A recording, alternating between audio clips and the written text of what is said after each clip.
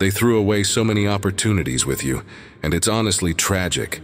They crossed the line with their disrespect one last time, so you had no choice but to remove them from your life. Now they want to come back, but it's important that you don't let anyone who continues to treat you poorly return. These people thought they had you all figured out, as if you were someone they could manipulate.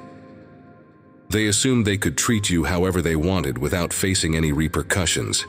But God is saying their time of judgment has arrived, and they are now experiencing the consequences of how they treated you.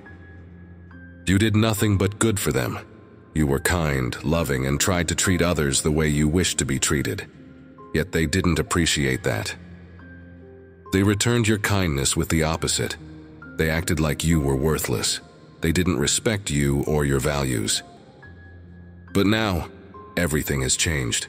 You're recognized for who you truly are, and the ones who disrespected you have faded into the background, unknown and irrelevant. People now see the light of God shining through you. That's what draws them to you. Meanwhile, those who made fun of you and mocked you are struggling in life. They chose paths of destruction, drugs, crime, and foolishness, while your light only intensified, exposing their inner demons. They didn't know your true nature or the divine calling on your life. Now they're waking up to the truth of who you are. They once believed you were insignificant, but they were blind to the fact that you are a child of God. They didn't understand your value or the gifts God placed in you. Because you weren't chasing worldly popularity or material success, they couldn't comprehend why you stood apart. But God called you out of that environment for His purposes, and the wisdom He's given you sets you far beyond your years. Your wisdom is now evident to everyone, and they're starting to recognize how blessed you are. God has removed those who disrespected you because He knew they had no place in your future.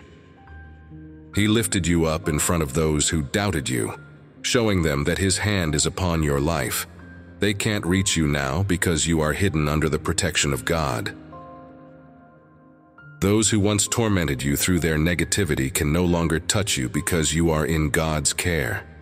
The more you seek God, the brighter your light shines, and that makes you a threat to those who operate in darkness. Look at yourself. You're radiating with the love and strength of God. Those who once disrespected you are now forced to see you in a new light. When you walked away from their toxicity, they felt the loss, whether they admitted it or not. You drew a line in the sand and refused to be mistreated any longer. And even your family was shocked by your strength. Your relatives thought they could continue treating you poorly forever, but you proved them wrong.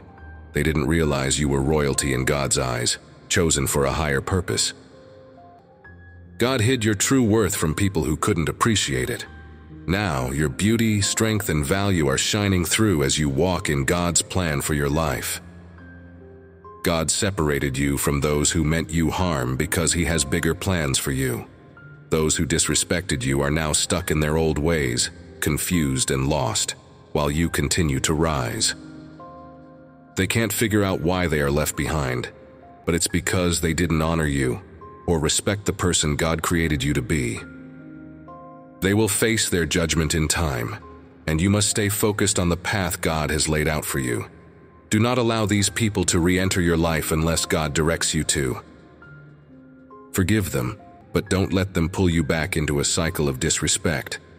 Continue walking in the favor and purpose of God, knowing that you are chosen, royal, and deeply loved by Him. Dear God, I thank you for guiding me out of situations where I wasn't valued, and for protecting me from those who treated me with disrespect.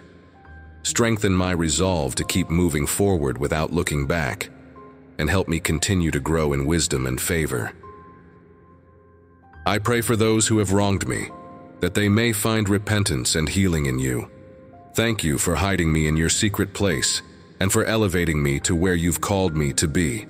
Amen.